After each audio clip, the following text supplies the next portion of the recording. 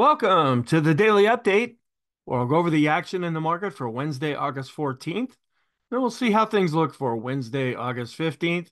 Had a slight up day, pretty muted response to CPI.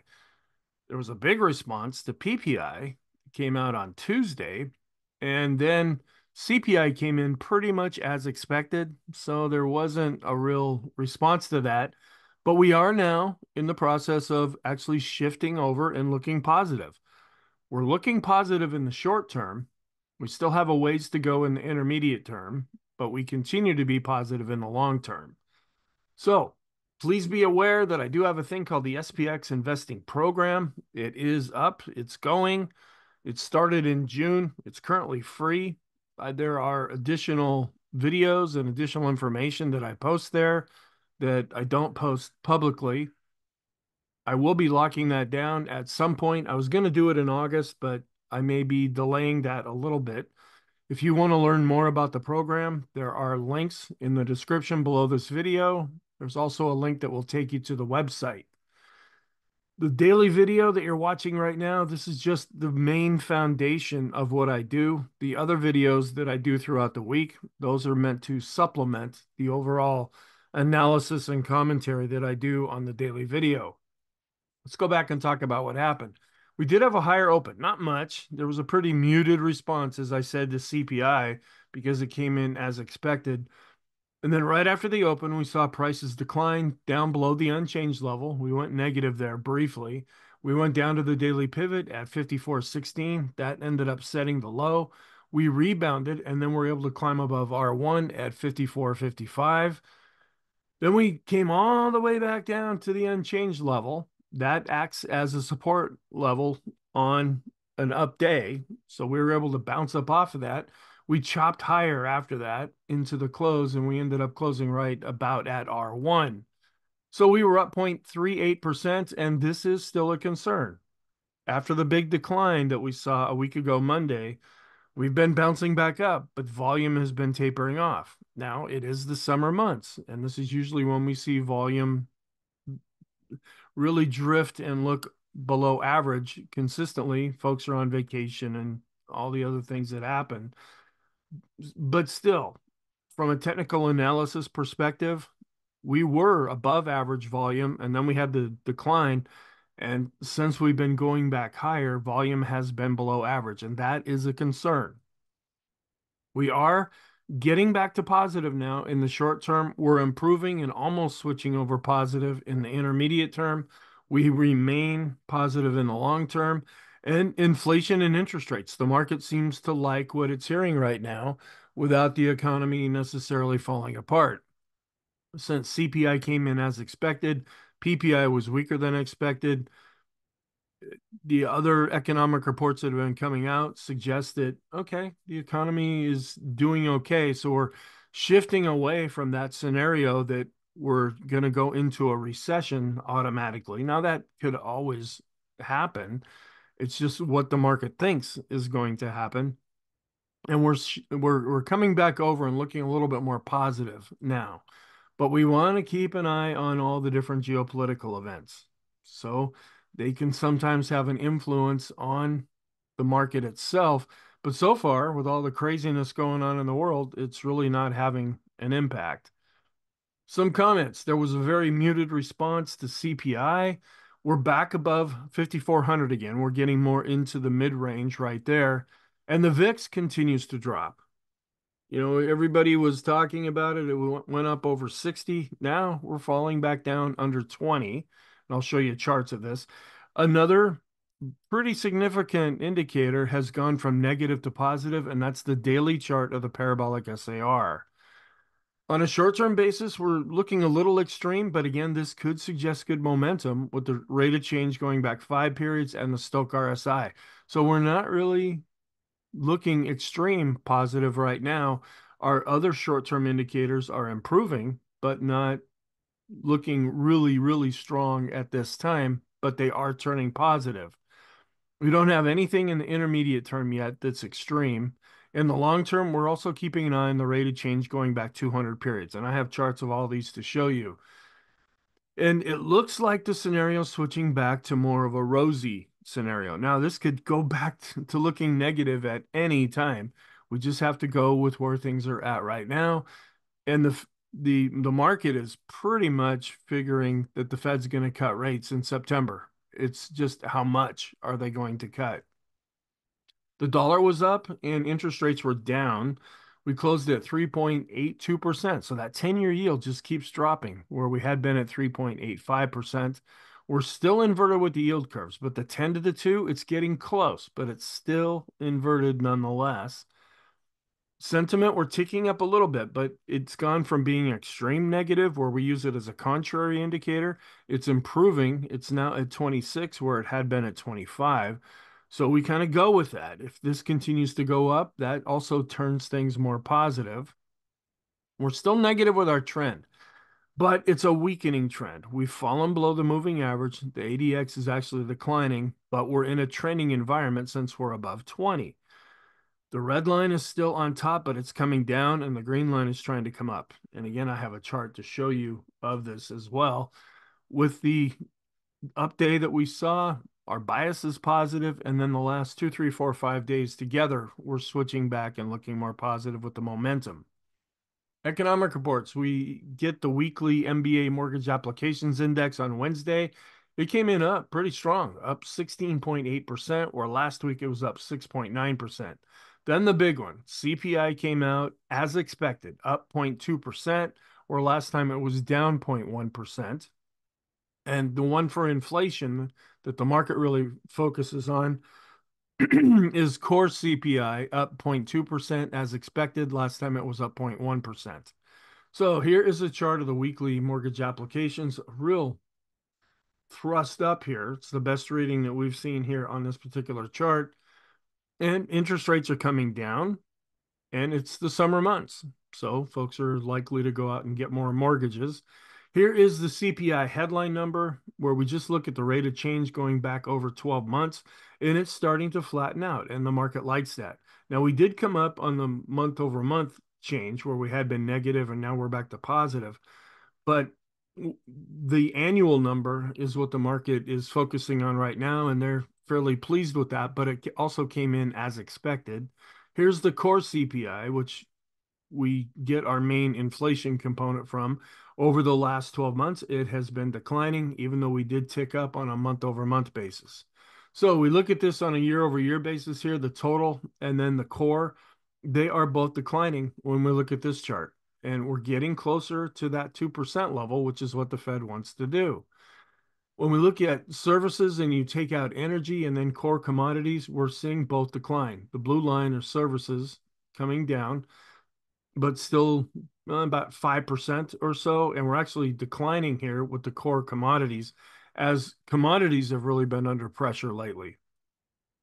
Looking at some Isabel Net blog charts, this is a liquidity index, and I, I have to admit I don't know how this is calculated. This somebody puts together this chart, but as a general rule, when the red line is going up, that means there's more money available to go into the market, and that could give some support to the S&P 500. And this, again, you could take this a couple of different ways. This is something that Carson put out by saying, okay, you have a loss with an investment, whatever that investment is. What does it take to get that back? So if you have a 10% loss, you need to gain 11% back to replace what was lost. And then it just goes up and up and up. You can see if you have a 90% loss, you need a 900% return to gain back to the break even point. And that's why in the program that I teach, I really, really focus on hedging. Yeah, we get into this whole thing to make money, but the first rule should be okay, what can we do to avoid losing money? Because when we're more defensive, and having to try to get back what was lost that that's a real hassle and and that can put a lot of stress on folks where if you hedge things well okay now we're still at the break even point once that hedge kicks in and takes over and one thing that we're keeping an eye on here is these are cash levels, and it's actually going up a little bit as the market was under pressure. Folks are getting out of the market, getting more into cash when we pay re- really pay attention to this is when we drop down to 4%. That's when we use this as a contrarian indicator. That just means that a lot of money is out there and maybe there's no more buyers on the sidelines, according to this chart. And then we look at a global basis for PMIs, and it says the expansion has rebounded from 25% back in September 2023 to 48% now. Even though it's coming down here, we're still a little bit below 50 when we look at this all together, but it has been improving overall when you take this on a global basis. And then I haven't been showing the equity put call charts for the last couple of days. That's the last bit of information that's updated, and I've been recording these videos earlier, and I, I want to get the recording done. But here is another look at this. This is the five-day put call ratio. Now I look at the equity put call ratio.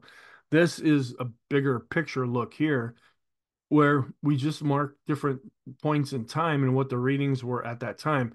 Typically, how we look at a chart like this is when it's going up. That tends to be more negative because there's more puts being called being bought than calls.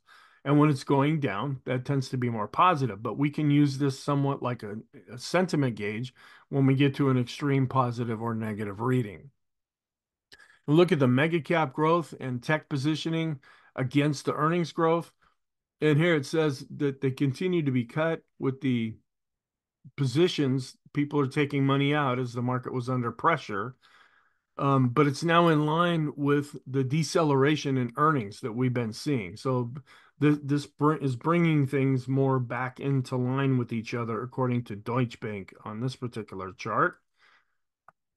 And then global growth expectations are now at an eight month low. So you notice that a lot of the charts we're seeing they're a little bit delayed and this is bigger picture type of information because the market was starting to freak out about going into a recession and okay are, is that going to happen in the US is that going to happen globally and so a lot of the charts that they're posting right now have to deal with that particular topic but now it looks like we're switching back and looking more positive, at least with the scenario. Now things could always fall apart going forward. We, like I always say, we can only go with what we're seeing right now. We, I, I really try to uh, avoid forecasting and getting really dogmatic about, oh, this is going to happen, that's going to happen. I, people love to do that, and people like to listen to people that do that. I like to just look at the evidence and then say, okay, this is where we're at right now. And then tomorrow we'll step back and reevaluate things again. And then this is looking at the 12 months out, the recession probability, the forecast. It's come down where a lot of folks back in 2023 just really thought we were going to go into a recession. But it's come down and we're right around the 30 level, according to Bloomberg here. And earnings sentiment. And this is are earnings looking better? Are people feeling better about earnings or are they feeling worse? This also takes more of a global look. The dark blue line is the S&P 500 and they continue to go up and that's the strongest part. Then we have the STOXX 600 which is Europe. That's the light blue line which are showing some improvement. TOPIX which is Japan and that's the gray line here which is also looking better. What's going down a little bit right now are the emerging markets. They're not as strong as more of the developed countries that we also have on this chart. I haven't received the Yardeni update for today. So I'll look through that and address that if there's something that I may feel is helpful to you. And I didn't really find anything interesting on Twitter. It, it was a pretty subdued day. We've been looking forward to the CPI coming out, and then it was kind of a non event, a nothing burger, I guess. Okay, so here is the intraday chart. And I like to include as much intraday data to give a little bit more perspective here. This was the big downward move that we saw on August 5th on Monday, and then how we've been clawing our way back. Now, we had that really big down day on Wednesday, and it looked like, okay, maybe we're going to resume going down from there. But ever since then, we have been able to just chop our way higher, and that's really improving the overall picture. We did get a little above R1 intraday, and then we ended up closing right at R1. Here's our intraday chart, and the futures are rather muted as well right now in the initial overnight session. This is still a little bit of a concern. We'd like to see the blue line above the red line. Now they're both showing some improvement, but we if the blue line is above the red line, that means that growth is outperforming value on an intraday basis. And we actually underperformed a little bit here with our S&P growth to value ratio. Since the big decline that we saw on August 5th, we have been clawing our way back intraday with growth to value for the S&P. We want to see this continue to go up to show more improvement. And so we were up with growth, but about half as much as we were with value. We were down when we look at mid cap growth and also down with small cap growth and more than value was. So not really seeing much of an improvement here. We would like to see these ratios really start to go up when we look at small cap growth to value. Mid cap growth to value actually decline. It's not showing an awful lot of improvement. We have been showing a little more improvement here with S&P growth to value, but we want to see this continue to go up. And not really much of a change here. We actually drop back a little bit when we look at this growth ETF versus the value ETF. The encouraging thing is we actually fell a little bit below the 250 day moving average. It looked like, okay, we're just getting ready to look pretty bad here. Well, since the scenario is changing back and looking a little more positive, we are seeing an improvement and we're coming up into the rainbow with this ratio. But discretionary is not really helping things out. Longer term, it's still in an uptrend. The blue line's above the red line, but we're below both lines right now as discretionary is just not doing all that well these days. We are seeing an improvement here with large cap growth. We look at the ETF, we're just a little bit under the 50-day moving average. Now the S&P was able to close just a little above the 50-day moving average. You could still consider that as overhead resistance. We want to get far away from that on the S&P, but we're still underneath it here when we look at large cap growth. And we're coming back up as the large caps have been outperforming the small caps, and that's what helps, especially the S&P and the Nasdaq 100 to go higher. Our trend, we are weakening. We're dropping below the moving average. We still default to negative with this chart because the red line is on top, even though it's declining, but the green line is coming up. We won't switch over to positive until the green line crosses above the red line. And here's our short-term chart, also showing a weakening trend. The red line is still on top, but the red and the green line are a little bit closer together. And we continue to drop below average with volume, which is a concern. To see the market going up the way it has been and volume tapering off, that's a classic technical analysis negative divergence. Keeping an eye on sentiment, the Ulcer Index is still pretty high, but it's been chopping sideways the last day or so. We're really coming down with the VIX. We got well above 60 here, and now we're coming and dropping back down into the lower range that we're used to being in for most of 2024. And with the market going up, we're also seeing the VIX of the VIX continue to decline as volatility has been really stepping back lately. And we're actually turning down now with the momentum of the VIX. The MACD has crossed over negative. And historically, maybe we're in this little period of time where we see a little bit of respite here as the VIX really started to shoot up and now we are potentially pulling back. You could say it's lining up with what seasonally has happened. One, if we do continue to follow this, the one thing to be aware of is look at how the VIX goes up, and that means stocks are going down. When we get further into August, September, and then into October. And keeping an eye on the volatility of the ratio between stocks and bonds, we're, we're really dropping off here. When we do the VIX to move ratio, we're declining with this fear gauge. We also continue to decline with this other fear gauge. So we're seeing confirmation there. We didn't really improve much here with our risk on to risk off ratio. After really dropping down when we saw the declines, we have been showing some improvement. We want to continue to see this go up. That would help the Nasdaq 100 and S&P 500 to advance. And we also want to keep an eye on the spread between risky and not as risky bonds here. And this shows it a little bit better. And we're and the problem that I get is some of this data is delayed. So we're not able to follow this in a real time environment. There's there's a little bit of a delay here, but we want this to continue to go up. If this goes up, that means volume, or excuse me, fear is decreasing on the spread between risky and not as risky bonds. And we were in this almost complacent area for quite a while. And then fear really started to increase. Remember, this is an inverted chart. We want this to go back up to have things continue to look more positive. And the volatility risk premium is also very, very low right now. Our advanced decline line looking pretty good. We're not quite breaking out yet based on price. We're showing an improvement, but still this more a little bit longer term negative divergence between price and volume, but still things are starting to improve. Overall, we're looking good because we're above the moving average, both based on price and volume. And we are seeing a, a bit of an expansion of the new highs and really no expansion of the new lows, even though our five day and 10 day moving averages continue to decline. The advanced decline ratio above zero and advancing, both with the 19 and 39 day. And I switch this chart around because this is also the advanced decline ratio. We show this based on price, and that's looking positive. But then we have an additional calculation here based on volume. That had been negative, and now it's starting to cross back above the midpoint here. So that's turning positive. Accumulation distribution, we're starting to come back above the moving average. So one of our smart money indicators is showing an improvement. We're above the midpoint with the boom indicator, and we're starting to slowly turn back up here. We're also continuing to go back up and show an improvement with the Chaikin money flow after getting a really extreme negative reading. But this is also looking a little more positive. And the Chaikin oscillator continues to be positive. It's above the midpoint and going up. So it's actually flat out positive, where the other two charts are just showing an improvement.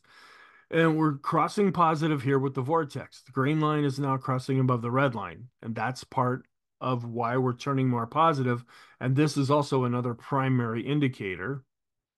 When we look at the cumulative S&P 500 advanced decline line based on price, we're showing an improvement here. We're also improving based on volume, but we did see more of a downturn based on volume here, and we're not breaking out yet based on price above this previous high. And the NYSE cumulative advanced decline line based on price also showing an improvement here, where the regular advanced decline line for the NYSE is actually held up quite a bit better above the moving average. This is another slightly calculated in a different way NYSE advanced decline line, but this has also been holding up pretty well. Now, when we look at the NYSE common stock based on price, which is now going back up and also based on volume, and we look at a chart of the NYSE advanced decline line and then the S&P, when the red line's above the S&P, that just means the broader market is holding up fairly well, even though these are on different scales. The advanced decline line studies, we're looking pr pretty good here. It's holding up fairly well with the NYSE common stock above the moving average, going up a little bit with the S&P. The mid caps were declined just a little bit, but still above the moving average. We also declined with the small caps, but they also continue to be above the moving average. Our short-term chart, we're coming up now, and we close just a teeny tiny little bit above the 50-day moving average. We want to see if that can continue, or even though we're a little bit above it now, is this going to still come in and possibly act as resistance? On the bottom, this is the concern that we're dropping off with volume as we've been going back up. The rate of change going back five periods is getting pretty extreme right now. And you can see other times when we had extreme readings like this, it didn't necessarily mean we were going to reverse. It just meant that maybe we're going to go sideways for a little while and then we're able to resume that later on. We're seeing kind of a similar reading right now. And we are looking a little better with our 20, 50. Actually, we declined with the 50 and declined with the 200, but the 20 period is actually still going up here. And the condition of the, the short-term trend, the 20 period moving average, that's what I use as a short-term trend. We're continuing to go up here. The blue line and the green line are starting to turn up. It would become even more positive if we can see the green line come back and cross above the blue line. That would that means it's going faster. And then here is the, the 20 period simple and exponential moving averages. We're above both of them. So if you just looked at this in isolation, you could say, yeah, the short term trend is now positive, And it is really showing some improvement. It's the intermediate term trend that we're waiting to see even to see things turn even more positive. And we are extreme positive with the Stoch RSI. We're going up above the midpoint with the Williams percent R. So this is short term positive. Also above the midpoint with the CCI 14 as well as the 20. So this is also short term, showing that we're turning positive that way. We're not extreme with the stochastics in the short, intermediate, or long term, but all of these are going up and looking more positive. We're above zero with the force index for the second day now, and we're above the midpoint for the second day as well with our standard deviations chart. We're in the to the plus one standard deviations channel. Now, looking at the intermediate term, we're crossing above the midpoint and going up with the balance of power. That's positive. We're coming back up to the blue line, which is the double exponential moving average here. If we can clear that and see these lines continue to turn up, that will help the intermediate term trend turn positive. And we're right at the 50-day move, simple moving average. We were able to get above the exponential. That's the blue one. Now, can we break out above the 50-day simple moving average here? That would really help things. And we're starting to go up and look more positive here when we look at the distance from the 100 period moving averages. Here's all of the moving averages where we're coming right up to the 50. We're above the shorter term moving averages. We want this to continue to go up, see the shorter term moving averages turn back up and actually be able to cross back. That would show more of a solid uptrend. And we're coming up to this anchored moving average going back to the low that we saw in, I believe that was May we were able to get back above this April low anchored moving average here and get above that. Can we continue to go above this shorter term low anchored moving average? And we're continuing to show some improvement here with the go no go system. We're above the midpoint with the highest high, lowest low value. And we're it would be even more positive if we could get above this and actually get back up to the blue line. The TTM squeeze is no longer extreme negative, showing an improvement, although it's still red, but it's the lighter shade of red. And we're coming down a little bit as things have slowed down slightly with standard deviation. This doesn't measure direction, it just measures speed. And we're still negative, but really improving with the ease of movement indicator here. We're flat with the Aroon indicator, looking positive with the S&P McClellan oscillator. For the second day now, for the S&P, we've been above zero. So we're starting to turn back up based on price with the summation index, and we're also turning up based on volume. So we're seeing some confirmation here. We're also looking more positive with the NYSE McClellan oscillator. We're above zero, so we're starting to turn back up based on price and volume with the summation indexes. And the Swenlin Trading Oscillator, above zero based on price and volume, that is now positive. And we're not positive yet, but we're showing some good improvement in the short and intermediate term with our oscillators trying to turn back up with the PMO. We're trying to turn up based on price and volume, but have not crossed positive yet. So we're seeing an improvement here with the PMOs that are rising. The buy signals are starting to go up, and we're ever so slightly starting to go up with the PMOs above zero. And this is a big one, the parabolic SAR. This is the daily chart. You see the dot is down here. We've now switched back to positive. And we are still positive with the Elder's Impulse system for the S&P. We're actually looking more positive here with the slope oscillator. After getting an extreme negative reading, we've crossed back above the moving average and we're continuing to advance. Also, we're crossing back above the moving average with the MACD. This is more short to intermediate term. So we look at all of our oscillators. In the short term, we're turning back positive. We're looking better here in the intermediate term, where we're still declining in the long term. It takes longer for these to actually start moving.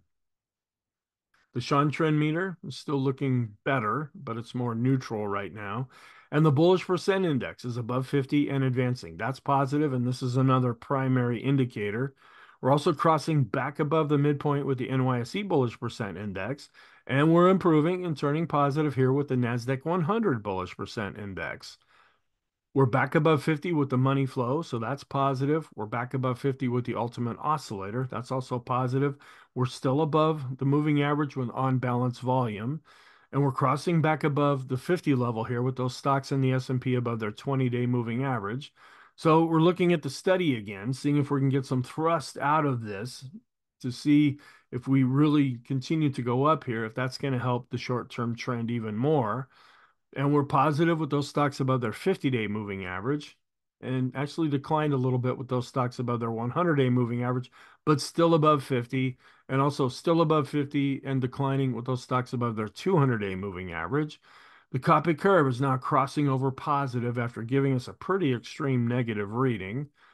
we're still waiting to see if the mass index is going to trigger something. It hasn't completed its third part. It has two signals, but not the third one yet. And we're crossing further above 50 here with the RSI 14 as well as the RSI 9.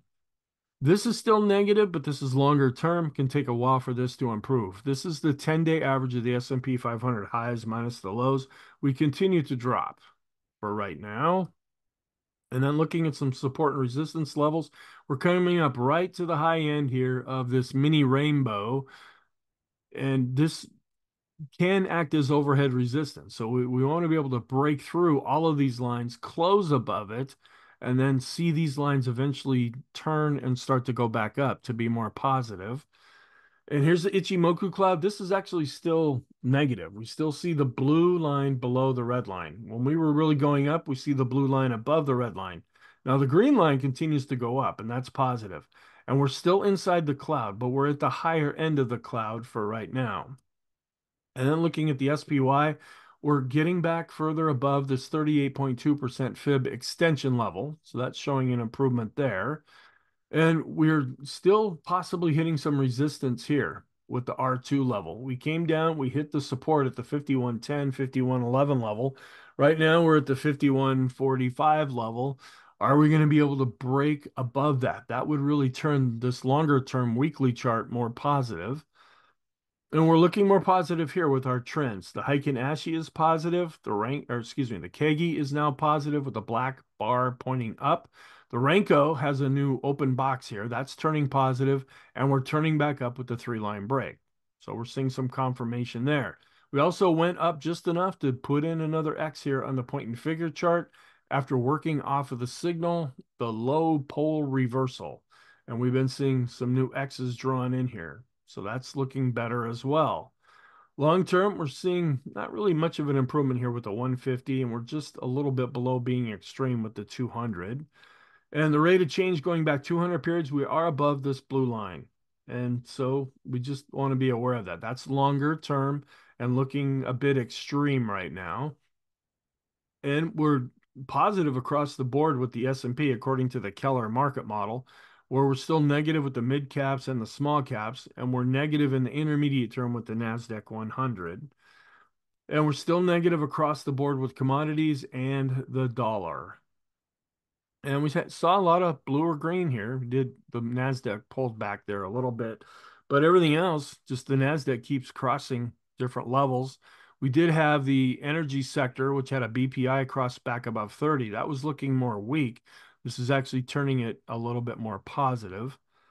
And then right after the open, we had the MACD crossover, and that's the chart that I showed a little while ago of our MACD indicator.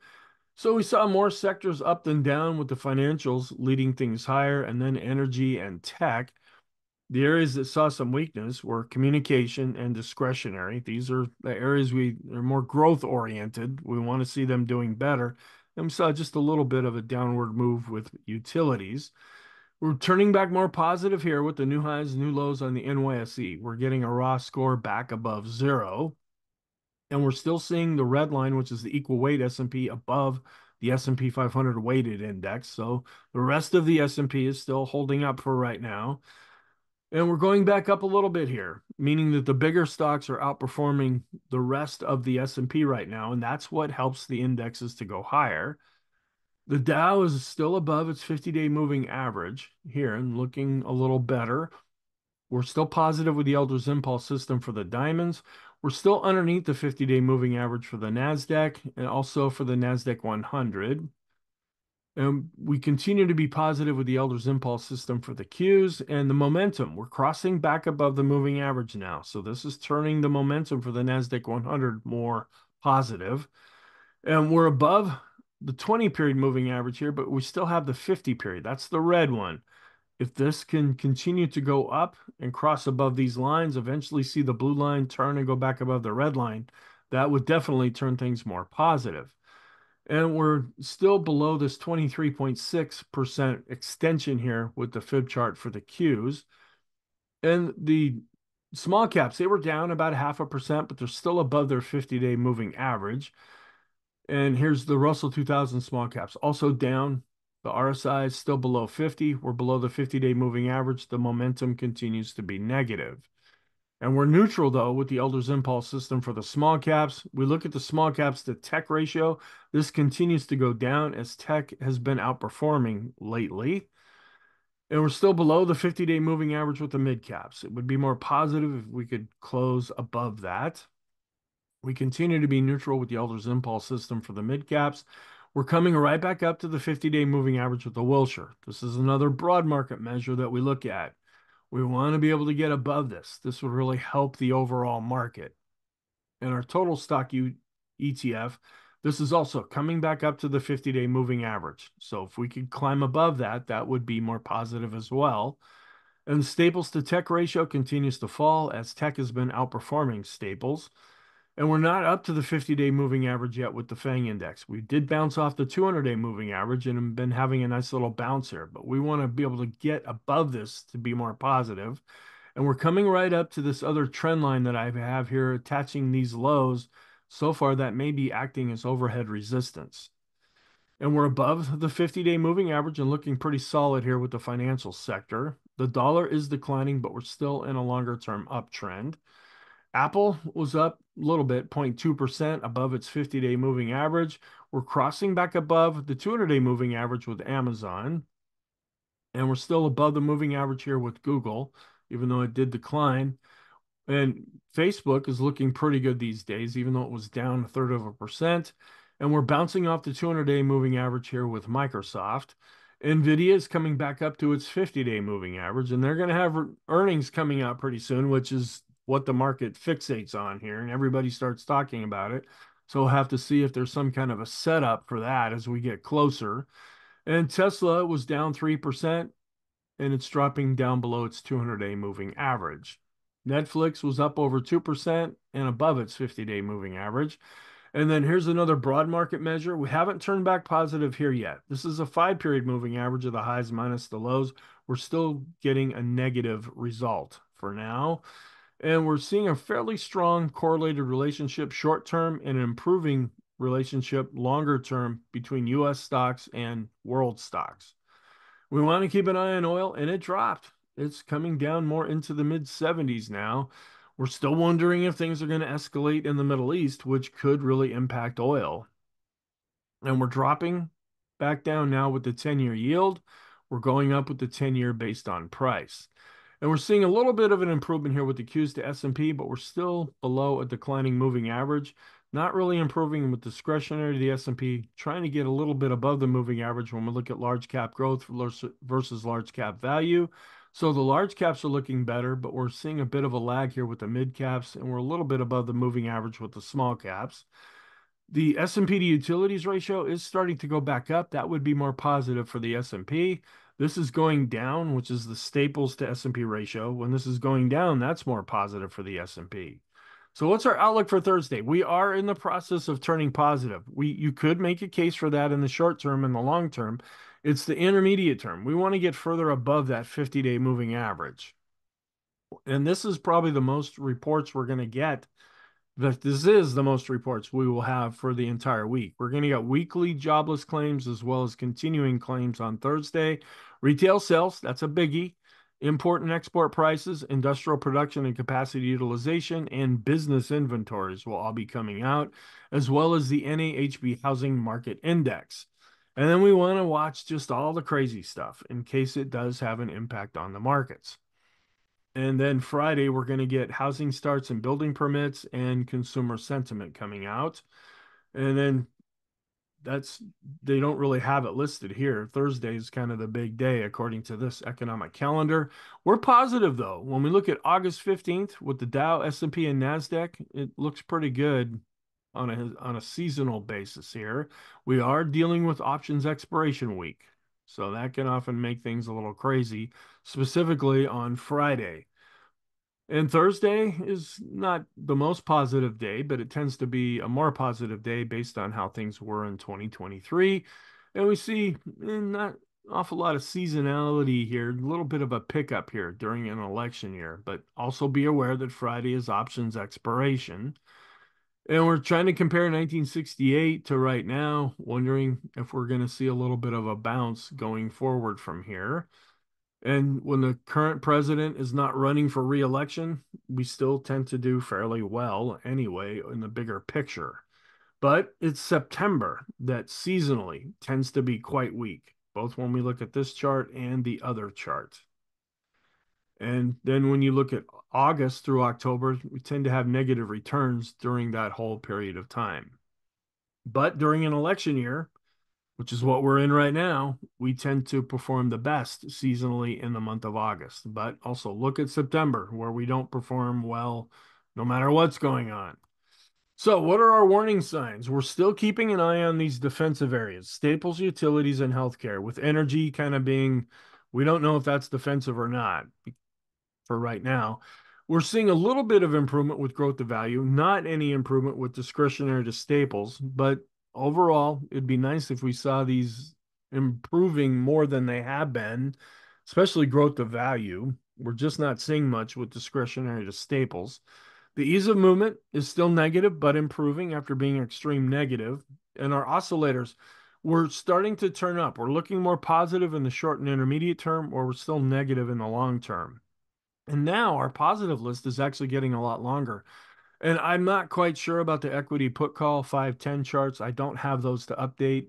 But our smart money indicators, accumulation distribution, Chaikin money flow, and the Chaikin oscillator, they are actually on our positive list now. And our advanced decline lines continue to hold up, especially for the S&P. The S&P and NYSE McClellan oscillators and summation indexes are positive. And the Swenlin Trading Oscillator is positive. The Parabolic SAR, a new addition to the positive side here. And we're seeing the bullish percent indexes for the S&P, NASDAQ 100, and NYSE all looking positive now. And the money flow, as well as the ultimate oscillator, the Coppock curve, the vortex is now turning back positive, and the financial sector continues to hold up rather well, as well as the momentums. We're crossing back above the moving average with the NASDAQ 100. So, our conclusion we are in the process, at least from what it looks like right now, of turning back positive. Now, in the short term, you could make a case that we are already positive. We're in the intermediate term, we're in the process of turning positive, or we continue to be positive in the long term. Thank you. I hope you found this helpful, and I hope you have a really good day. I will talk to you in the next video.